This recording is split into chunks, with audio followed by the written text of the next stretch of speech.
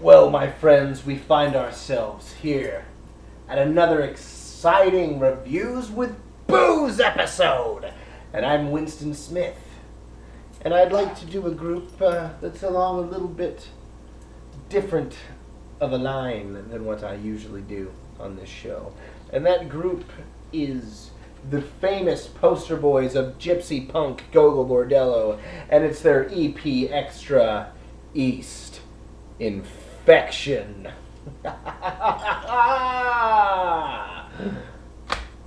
this is definitely something for, for the fans who already have all the albums, like it, love it, but just can't get enough. They need more Gogol. It's the EP Extra.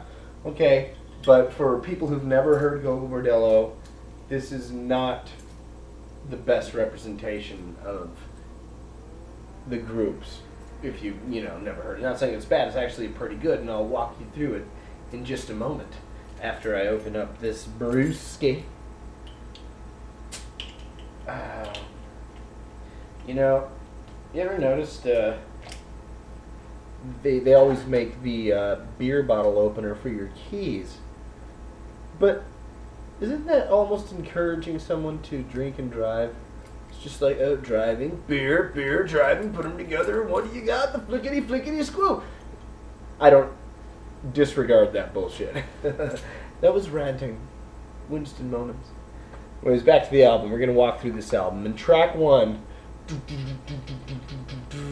is the title track "East Infection," and this is a obviously one of the showcasers because it's unreleased and it's incentive for the fan to buy.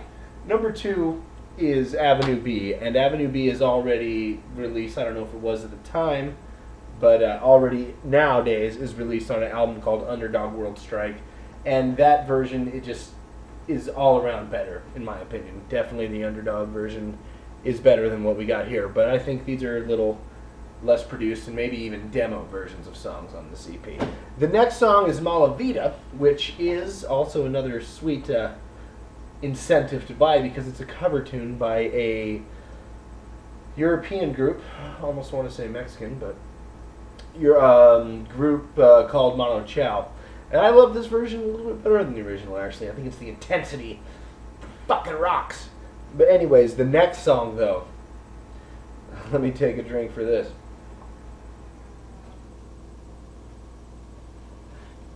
Oh, the next song it's called Copycat.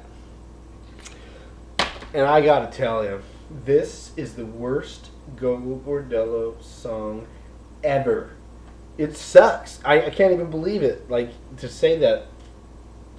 This song blows. This song sucks. I don't know what you guys were thinking. It blows. It's lousy. It's shitty. Please, never make another song like Copycat. Anyways, um, but the next song is also nowadays is released on an album called Super Taranta, and it's Strange Uncle from Abroad. It's an epic tune that has sweet building musical parts with the the fiddle showcasing and all sorts of sweet ass shit. But once again, the Super Taranta version is more epic, sounds better, produced better, and everything all else that comes with that. the last song is Madagascar. Romania, and uh, showcases a female singer. It's a, it's I think it's more of a longer, lengthy, epic song, uh, with the hook that the girl is like, and it's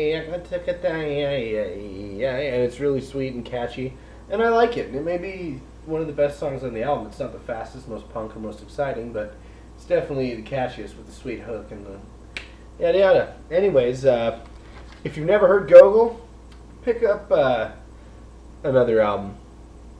Um, preferably the three in the middle right now, not the newest one produced by, produced by Rick Rubin, because in my opinion took a little bit of the soul away. It's a good album, but it's just not the same as uh, Irony or Multi Kontra Culti versus Irony or Underdog or Super Taranta. Those three are pretty much what you want to check out. But if you already have all those albums, pick this up, fans and you'll be pleasantly surprised at how enjoyable it can be added into your Gogol Bordello collection. Keep it real, a gypsy bone! This is fucking uh, Reviews with Booze. And I'm saying peace, friends.